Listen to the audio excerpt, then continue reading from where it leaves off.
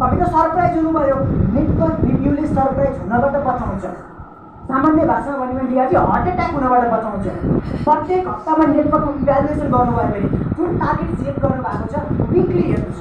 हजार बिबी हुनुपर्ने थियो भने एक हप्तामा कम्ती पनि चार सय बिबी हुनु पऱ्यो त्यो भएको छ कि छैन? लास्टमा म नहेर्नु है साथीहरू नेटवर्क रिभ्यूको मेन रिजन बिचमा हेर्ने गर्छ। अझ समय मिल्यो भने पछि अझै बताउने मौका दिनेछ benefits of network review network review गर्दा के के फाइदा हुन्छ understand the actual situation of network network किन डाउन छ बाबा मेरो तर टिमबाट फेरि किन निस्किरहेको छैन? यो बुझ्नको लागि तपाईँलाई सजिलो हुन्छ। Ability and capability of downline. मेरो डाउनलाइन कतिको पोटेन्सियल छ? उसले बोल्छ मात्र कि गर्छ पनि? यो बुझ्नको लागि सजिलो हुन्छ। सेल्स पर्फर्मेन्स डिपिआर भन्छ होइन? डिस्ट्रिब्युटर बिजनेस रिपोर्ट भन्छ।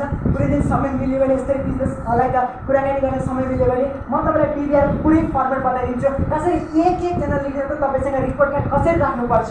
कसरी तपाईँको टार्गेट एचिभ हुन्छ? सबै कुराकानी म पछि सिकाउने छु समय अभाव छ। कन्फिडेन्स लेभल अफ ग्रुप जब तपाईँले कुनै टार्गेट सेट गर्नुभयो यदि तपाईँको ग्रुपले त्यो टार्गेट बिट गर्छ भने भाइ कन्फिडेन्स बढ्छ ग्रुपको।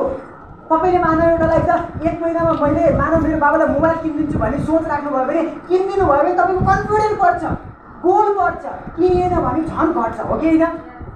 आर लिसनिङ मी फेरि सोधियो अगाडि which in help in quick एकदमै क्विक समय धेरै कम छ प्रब problem solving, reviewing of the set goals, assessing deviation, identifying stopping stones, offering solutions for growth. हेर्नुहोस् है साथीहरू नेटवर्क रिभ्यू बहुत इम्पोर्टेन्ट छ जसले तपाईँको टिमको जसलाई पनि लाग्छ कि मेरो ग्रोथ भएको छैन नेटवर्क रिभ्यू गर्नुपर्छ नेटवर्क रिभ्यू एप्रिल वानमा टार्गेट सेट गर्नुहोस् एप्रिल सेभेनमा फेरि मिटिङ बस्नुहोस् एप्रिल सेभेनमा जुन टार्गेट बिट भयो भएन कङ्ग्रेचुलेसन गर्नु गाली गर्नुहोस् गाली गर्ने पनि हक हुन्छ अफलाइनसँग गाली गर्नुहोस्।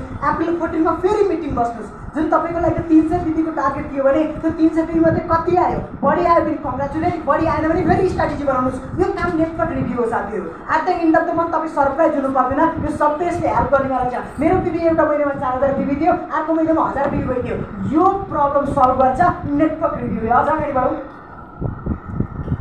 यस यो मेरो सबैभन्दा बेस्ट टपिक हो।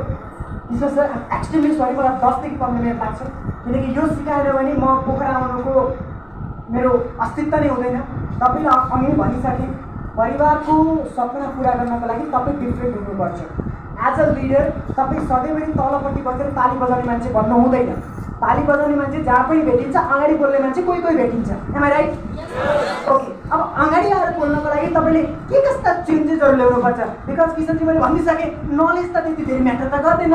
नलेज त जहाँ पनि पाउँछ म्याटर के गर्छ? त्यो कुरा यहाँनिर बताउँछु छिटो बताउँछु। एकदमै क्याच गर्नु होला फोटो अब सुन्नुहोस् भयो चौधरी फोटो पनि खिच्नु पर्दैन।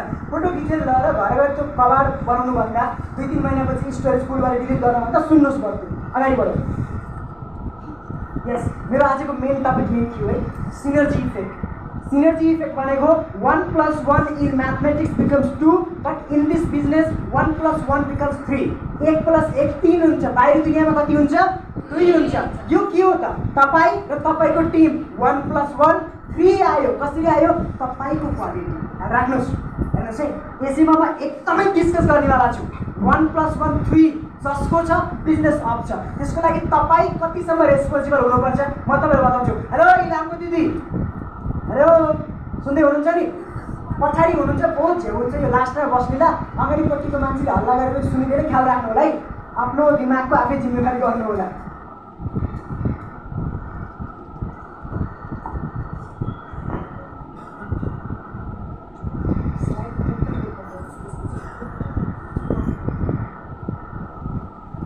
अन्डरस्ट्यान्ड युर पर्सनालिटी म पहिल्यै भनेको छु as a leader you must have to know तपाईँको पर्सनालिटी कुन किसिमको छ? हेर्नुहोस् है म आज स्टेजमा आएर बोल्दैछु भने भाइ मलाई थाहा छ मेरो पावर पोइन्ट के छ मेरो विक पोइन्ट के छ।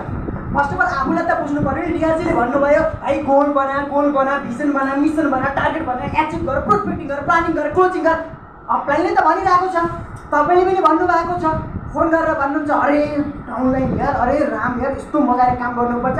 फोन राखेपछि कसले गर्छ त्यो आउँछ हेर्नुहोस् त्यसरी फर्स्ट अफ अल आफूलाई बुझ्नुहोस् गौतम बारी सरले एउटा बडा मिठो लाइन भन्नुहुन्छ साथीहरू कसम चाहिँ त्यो बुझ्नु भयो भने तपाईँको आधी भेस्टिजको जीवन सखा भयो नभए शुद्ध भयो पार भयो सखा भयो भने नराम्रो त नलिनु होला ये बिजनेस साबुन तेल शैम्पू का बिजनेस नहीं है ये बिजनेस बिजनेस अफ लिडरसिप का बिजनेस है किन किन भन्नुभयो बुझौँ साथीहरू जसको लिडरसिप राम्रो छ टिम उसैको ग्रोथ हुन्छ मलाई एउटा मान्छे देखाइदिनुहोस् जो लिडर बढिया छ।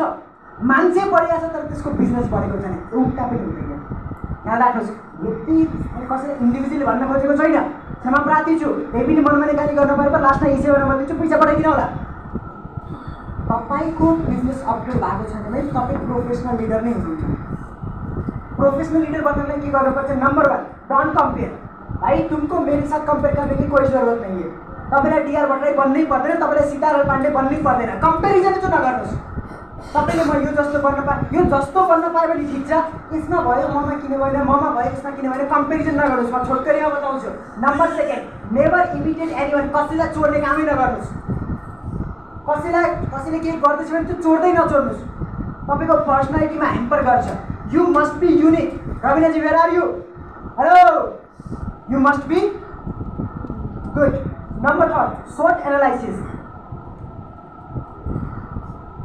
दुई मिनट पढ्यो पऱ्यो सरी डायरी निकाल्नुहोस् क्विक छिटो सबैजना डायरी निकाल्नुहोस् सबैजना डायरी निकाल्नुहोस् बहुत इम्पोर्टेन्ट छ है साथीहरू।